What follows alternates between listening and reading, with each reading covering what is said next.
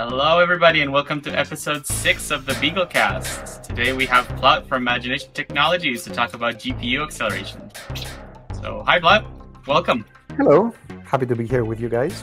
Do you want to introduce yourself? Tell us a little bit about what you do at um, Imagination. Sure. I'm Plut Galatsopoulos. I'm Senior Director of Product Management at Imagination. I'm looking after uh, GPU DDK, open source, and proprietary drivers, as well as our mobile uh, GPU hardware product line. Awesome. So, how, lo- how long have you been at uh, Imagination in this role? Um, it's been three years and a bit. Started uh, during COVID in 2020. Awesome. Um, so, I, I, I have so many questions. I'm not really sure where which where to crack the egg, right? So, um, the the we use the uh, an imagination core inside the the Beagle Play, right? In fact, almost all the Beagles have used an imagination uh, GPU, um, but those of us in the, the Beagle community are super excited about the you know what's going to happen with Beagle Play here with the the, the GPU driver. Um, and can you tell us a little bit about kind of the vision for open source and imagination and and you know, what you're what you're hoping to accomplish ultimately?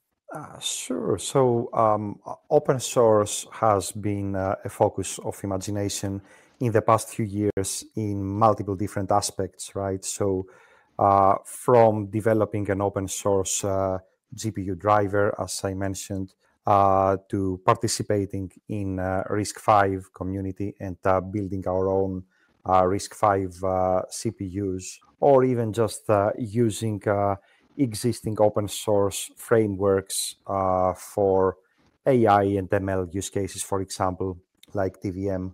So we have been embracing uh, open source from multiple different uh, angles, and uh, we can definitely see the value and uh, and the need to continue doing that in the future. Awesome, Robert. I see you chomping at the bit.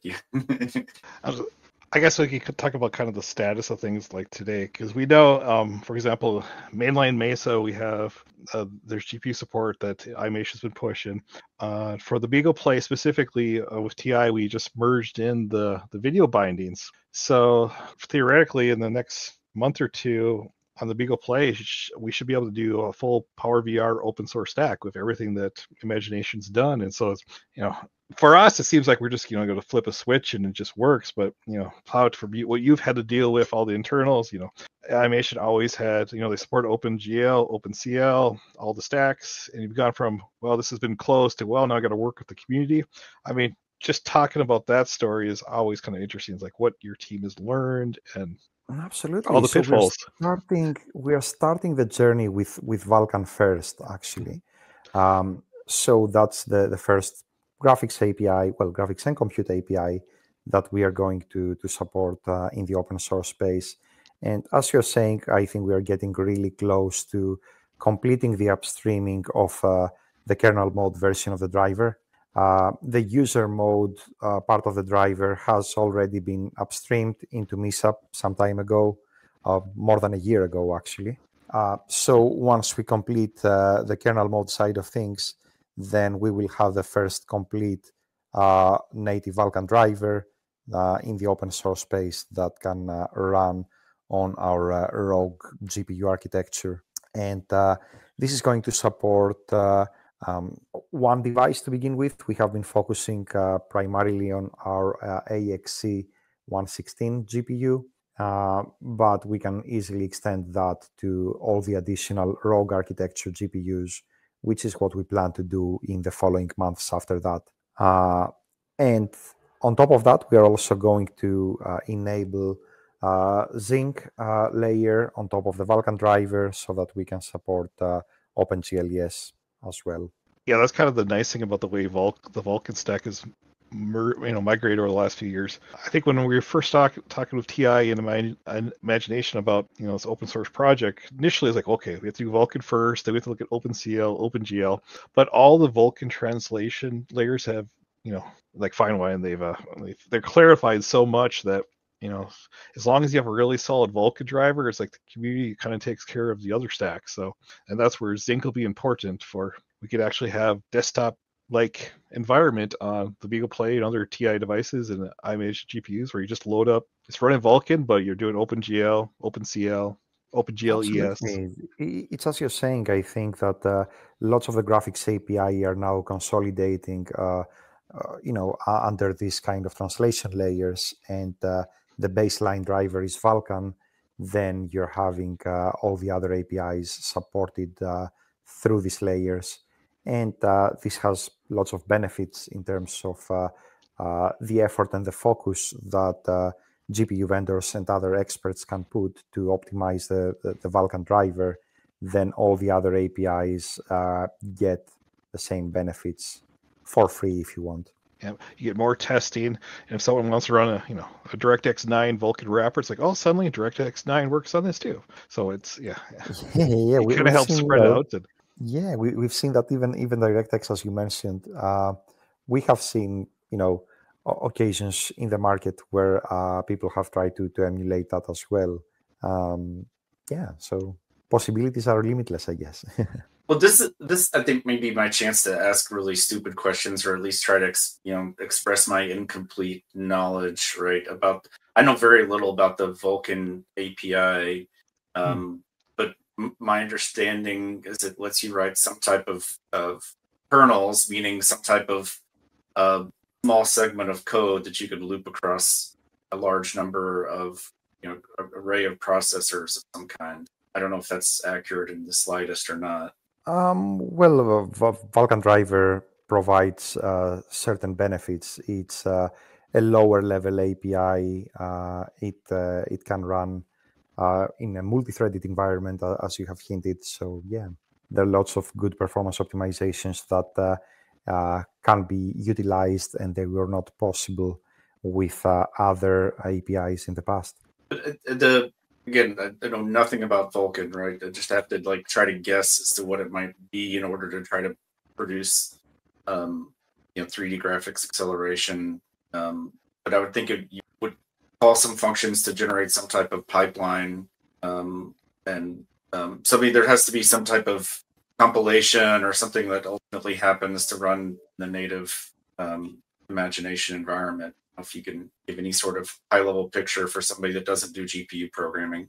Um, you mean explain how how does the the Vulkan driver works? I think it's quite complicated topic to to dive into right now. Just but, a just uh, a high level perspective, right? Just as a as a novice for somebody that's like all of a sudden got this extra compute capability ex- exposed to them yeah, how do they? What I mentioned before about this being a lower level API is the primary benefit of it, right? So um, Vulkan is actually a, a, more difficult API to to code uh, if you're not an expert developer on on graphics, and uh, that's a, you know a pro and con at the same time if you want because.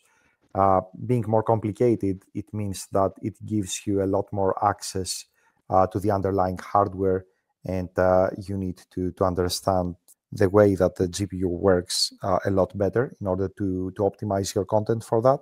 on the other hand, you have full control, so you know with more controls come, comes more responsibility, and in the hands of expert developers that can make a huge difference on uh, on the performance of the final app.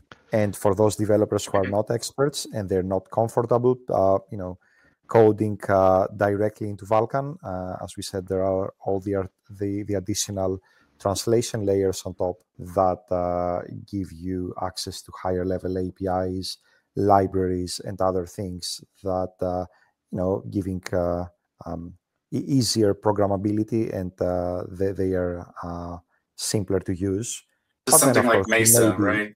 You look at a project like Mesa that would provide like a GL programming layer, right? So maybe G, um, yeah. OpenGL might be a more familiar programming layer that people could use to to access the the Vulkan drivers. That be accurate? Yeah, yeah. yeah.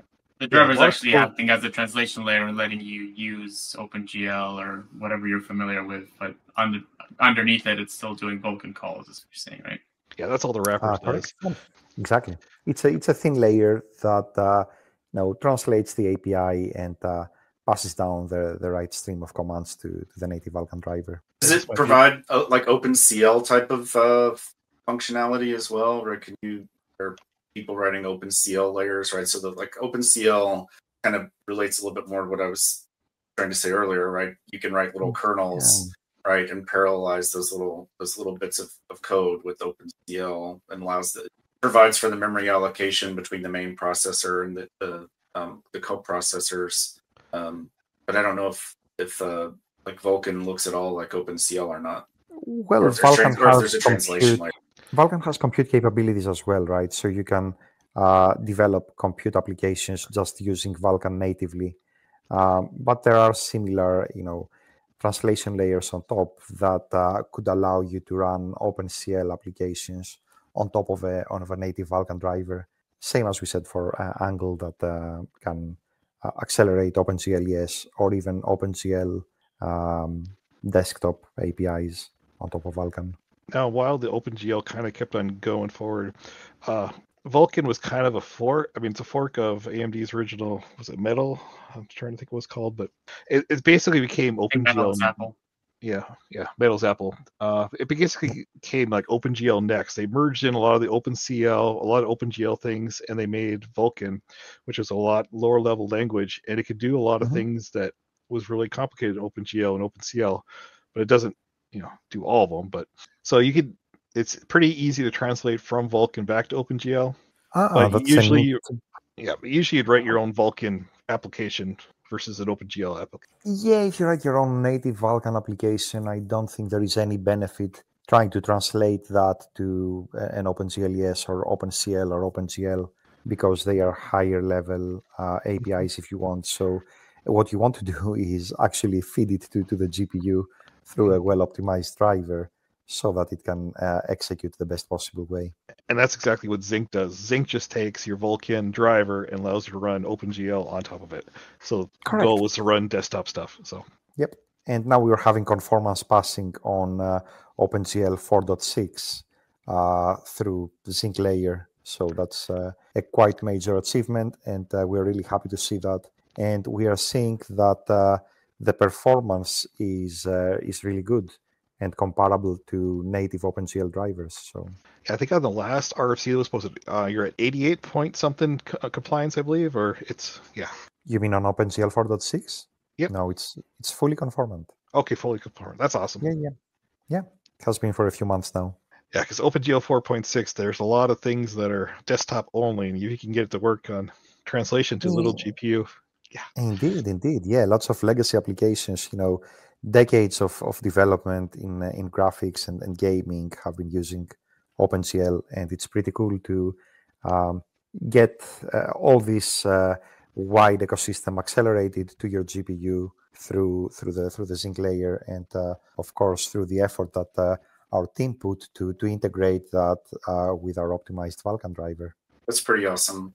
So I guess just to bring it back to kind of you know the benefits that we're gonna see on something like Beagle Play, right? Um, I think we know we kind of talked about you know about a low level what the technology is, but maybe Robert, you want to speak to you know what this is actually going to enable to an end user who's now going to you know soon be booting up Beagle Play with the default image. Well, that's the thing for the BeagleBoard community as wide. It's it's going to open up some crazy wide open doors. In the past, we've always had okay, this one driver, one kernel version, maybe one modules, and one user space, and it's basically here you go, community. Here it is. Use it. Don't change it. But with this, I mean, Buildroot can have out-of-box acceleration. Debian can have out-of-box acceleration. Fedora can have uh, out-of-box acceleration. If people want to run emulators or they want to do uh, number crunching using the Vulkan um, compute stuff, yeah, they go from it's one image that someone wrote two years ago that just works versus yeah, and the no longer are it's- people it's- stuck on old stuff. Yep. And the Mesa community is pretty large. The amount of translation layers, the amount of optimizations going on, everyone shares the back end of Mesa. So while Imagination did their Vulkan driver front end, when Vulkan, Vulkan 2.0 or OpenGL 5 comes out or OpenCL something with this interface ecosystem, the iMation GPU can also support that too. Until a point when it just doesn't have enough horsepower. But this is something that, yeah, once the board gets in the field, you can keep updating it and have Mesa support. Or That's, even the you know, big one. normal desktop acceleration, so your desktop's going to be faster. Web browsing, video playback, right? Things like that.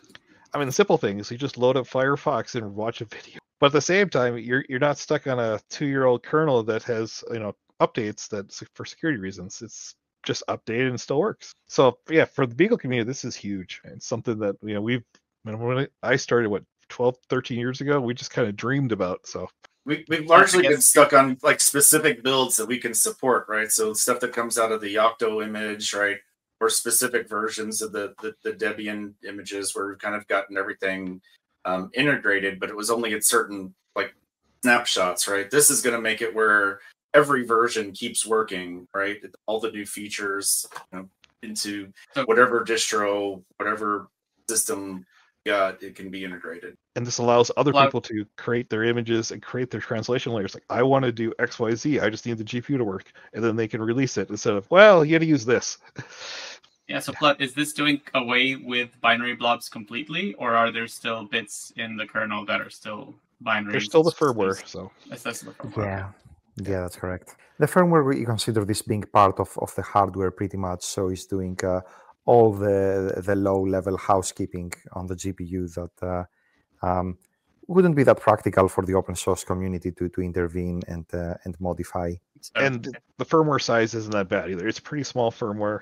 Yeah, and I think um, for most of the silicon vendors, the same firmware should work. It's just um, like the power management hooks will have to be in the the kernel driver to enable it. I think, but yeah, otherwise it should work on. So while we're talking about TI specifically here, but if someone else was using this BX15 GPU, it could work on another silicon with the same firmware, I believe, right?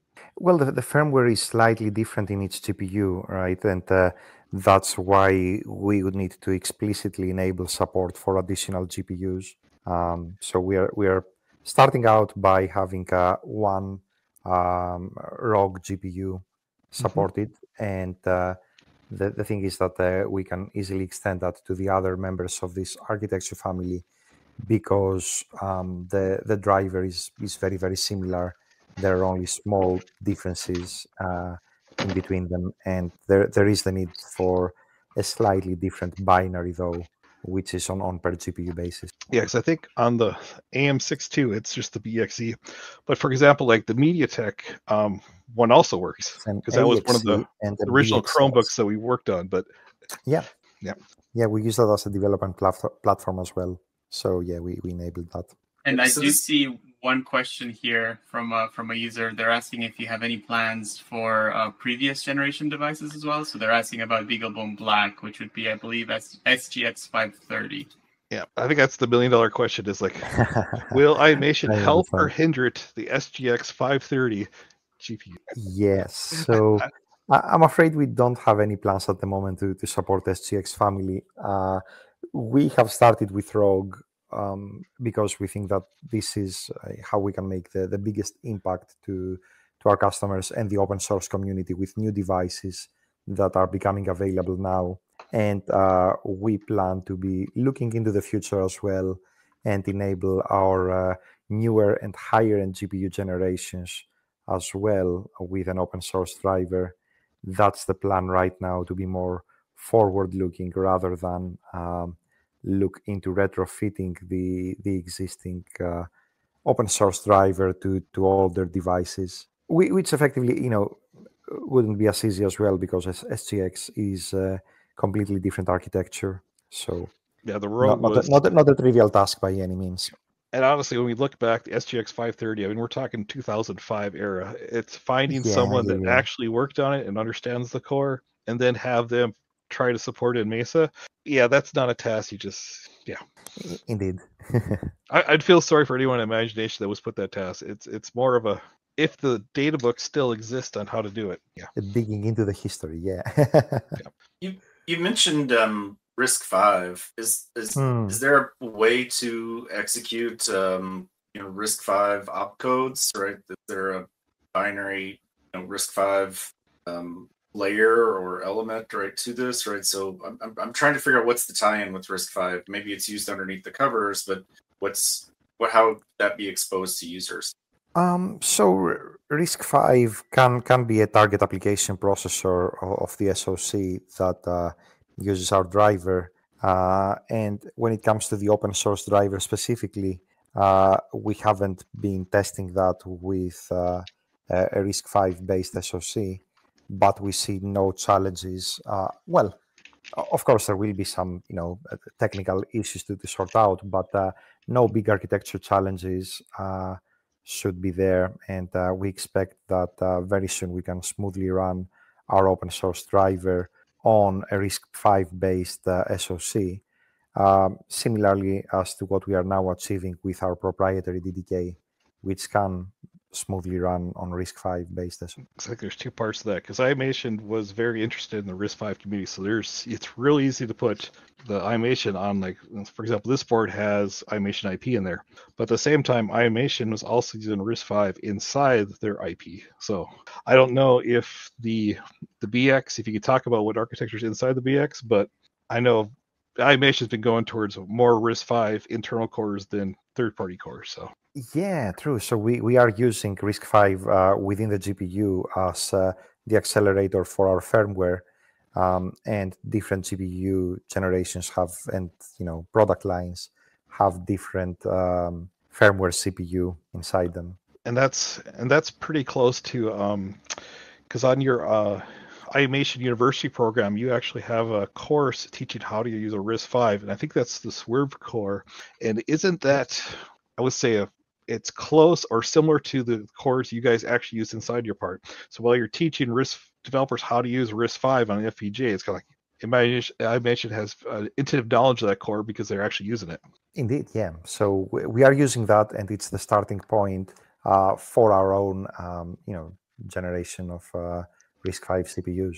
So you also mentioned uh, some, uh, something along the lines of neural net acceleration, right? Using um, you know the the, the GPU cores. I think that you have some, some separate uh, IP blocks specifically targeting um, you know neural network processing, but is something like what's on uh, the AM625 that's you know and the Beagle Play is that something that um, we can get some lift for um, neural net inference? Yeah, we have uh, neural network accelerator, and of course, we can accelerate this kind of workload on the GPU as well and uh, we have the the software tools and frameworks that uh, facilitate both paths through a dedicated accelerator, our uh, NNA, or our GPU. And uh, yeah, these these are both uh, you know valid paths of acceleration.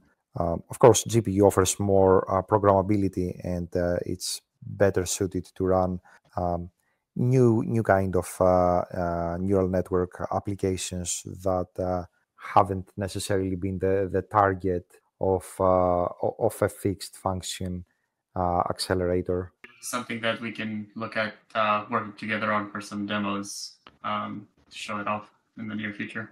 Ah, indeed, yeah. We we do have demos, and I think that uh, we are presenting them in um, uh, all the, the different events that we attend. So that's that's still using like the the Vulkan layer, so we could use the open source, or is that just using the DDK? Right? Is that something that we can do with the open source Vulkan driver in a in a um, you know a, a performant way? Mm, depends on how you you want to um, how you want to accelerate your your workloads on the on the GPU. Uh, the most typical path is through OpenCL, so that's not something that is currently supported through through the Vulkan open source driver. Um, now, whether or not you could use Vulkan compute capabilities to to write some ML content, um, uh, I guess that's a possibility. And iMation's university program on the the BeagleBone uh, BeagleBone Black AI64, they actually use and they show how to use it on the OpenCL cores.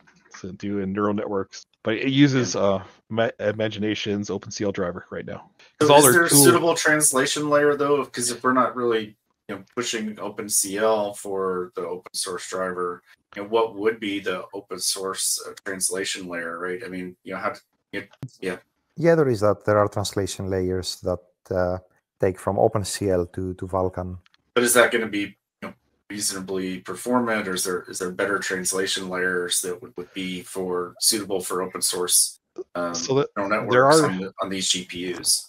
So there are two layers. There's the Clover OpenCL driver, and then the, the new in, Intel Rust base CL driver. And so these are just translation layers to do later versions of OpenCL. But the problem is, um, all my iMation's highly optimized for their OpenCL driver and then all the tools that get tied to it. So it's just a matter of years of optimization versus something that's still relatively new.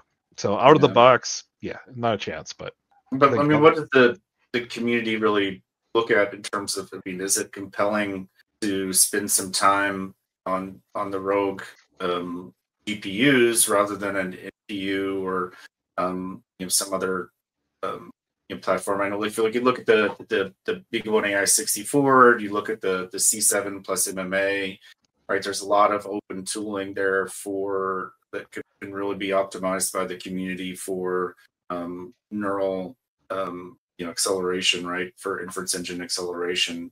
Um, but I know that people are looking for more generic programming layers. Um, you know, in, in the in the past, you know, TI has gone away from even the OpenCL based support, um, more um, just native programming environment, right? Um, and um, you know, APIs for for the OpenVX um, you know, programming layer, right, for for accessing the um, the accelerated kernels, right? And I'm I'm just you know maybe maybe it really is not something that's like a a good CUDA competitor, right? You know, but um, you know, just trying to understand what the um, what the extent of the opportunity is for people to use the the Rogue series on Beagle Play, especially um, to do some improved inference engine support, right?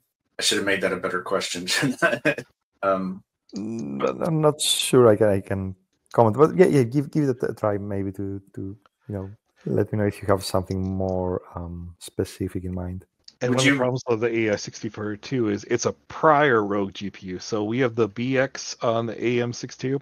The TDA4 is the 8XE part. So it's Rogue family, but it's different. Yeah, Yeah, and if you're doing neural net stuff, right? I mean, you'd really just target the C7 plus MMA plus the C6 DSP cores, right? So um, those have um, you know a lot of um, you know there, there's there's tool chains that you can use to program those natively, um, and um, right. So and there's lots of example code from from TI that, that implements the like the the TensorFlow Lite acceleration, um, you know, so that you know, that makes a, a good target. But of course, that's a you know a more expensive solution that not everybody needs eight tops worth of inference engine support, right?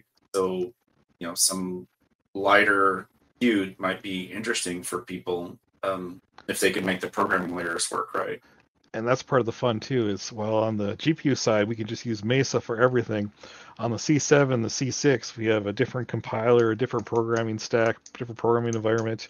If we get if we get all three of those, just to use Vulkan Mesa, it would solve a ton of problems. Yeah. But- so, so maybe that's what we need is a TI to push C7, C6 support into Mesa Vulkan, and then maybe.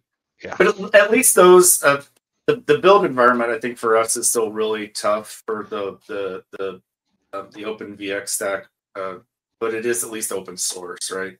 Um, it's just not necessarily in a clean build environment. Yeah. At least we've moved on. Oh, here's the the firmware blobs. You just stick in the C7, C6. Like here's how you can build it. Don't try. Just just load the OpenVX firmware. If if we could have like that for Vulkan, that'd make some interesting. But, but if, if we were able to take all the OpenStack, forget neural network stuff, right? If we're able to take some amount, because we've got two other boards um, with Rogue GPUs, right? The the, the BeagleBone AI 64, BeagleV-Ahead. Um, both have the Rogue class, not just the S- like the older boards are SGX. Um, you know, um, I think the the well the ahead actually has a little bit more because it has the Imagination NPU core as well. I believe it's the Imagination NPU uh, neural neural processing core there. Um, so, um, but if there's an opportunity to to use for AI 64 and ahead, you know, some of these open firmwares, sounds like there's a possibility those the, the firmware loads for working with Vulkan might come. Some. I think that's part of the fun too. Is well, GPU is pretty standard. You stick this in the kernel, you know, this kernel directory. Plot, how is the the MMA's kernel driver been going as far as where to stick it in the kernel driver, which user space to use? Because there's none of that right now. It's the situation is pretty much whatever iMation wants to do. It's you can just write it themselves because there is no there is no open source Mesa for NNA and Um, NPUs. Correct, and it's it's a different kind of uh, processor, right? So, um, however, um, we we are looking into what we can do in the open source space to to accelerate, you know, machine learning workloads. Uh, we have been using uh, open source as the baseline for all these uh, software tools that we are using.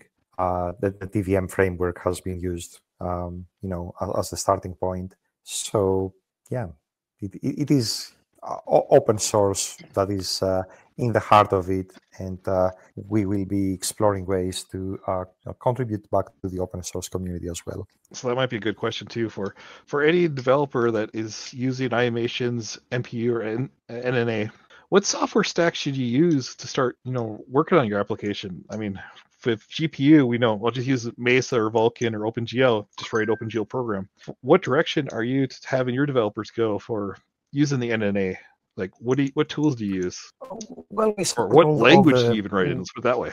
Uh, all the standard frameworks, TensorFlow, uh, Pytorch, you name it. You know, every VM uh, compile support um, through through as well. And sorry, guys, I'm losing audio, so I might have to step out. I think it's just plow. Oh. Can you hear me? Yes. Okay. Um, not, not sure if you've heard my, my response before, but I was saying that we are supporting multiple different uh, frameworks, um, all the ones that are supported through the, the TVM compiler. So, yeah, TensorFlow, PyTorch, you name it. Um, you, uh, I wanted to do a, a, a, plug at some point here. I don't know how close we are, but, but uh, I, I, do know of um, organization looking for for people that want to try to improve the state of open source graphics on on Beagle Play. Um, if there are individual developers that are looking to contribute, um, there's some internship opportunities um, for that. So um, please do come onto our, our or reach out on the chat to me, and I can put you in contact with the folks looking for that. Right? There's there's um, a lot of you know, interest from users of the platform, right, to, to have developers engaged to try to improve the openness of the stack. So if you're an individual developer, please do um, reach out. Hey, Jason on on Discord. Mm-hmm. Jake Ragnar. Um, I had a plot. I don't know how close we are to kind of wrapping up, but we, based on time, we probably should. Um, is there any okay. uh, other um, kind of topics, questions we should have asked, uh, um, things to know about imagination, the open source efforts? I think it was a really good discussion that we have, and, and thank you for the opportunity that you gave me to talk about our open source plans.